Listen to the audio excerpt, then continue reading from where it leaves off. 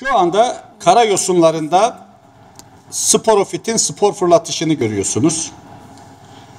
Ee, aylarca, aylar önce doğadan topladığımız bir karayosununu laboratuvar ortamına getirdik.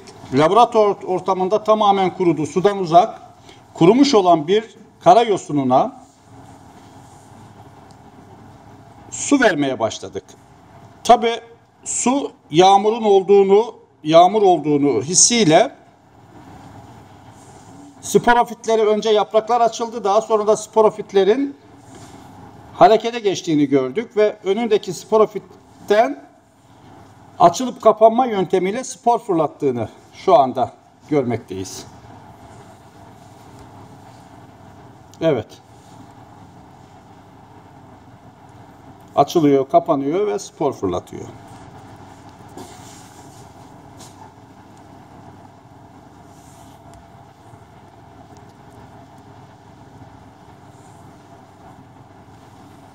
Evet, açılıyor bakın hareketi görüyor musunuz? Açılıyor.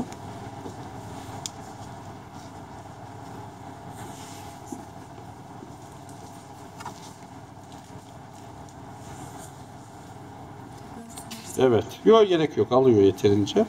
Zaten yapıyor bunu. Bakın o hareketi yapıyor. Görüyor musunuz? Bakın şu anda bakın açılma, kapama. Görüyorsunuz.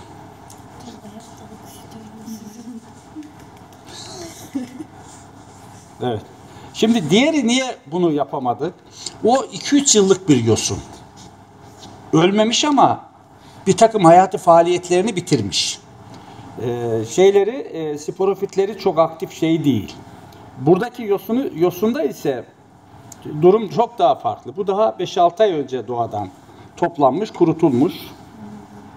Ama doğanın kendini yer edeme şeyine bakar mısın? Ya müthiş bir şey değil mi?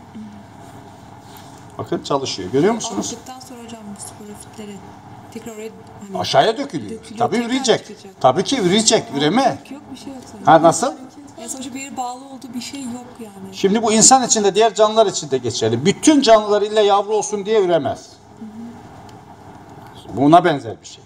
Şansa olursa. Yani demek istediğim hocam bağlı olduğu bir yer yok yani. Var var var. Toprak var altta. Yaprakları atıyor. Aşağı atıyor. İşte Hiç öyle bir şey yok.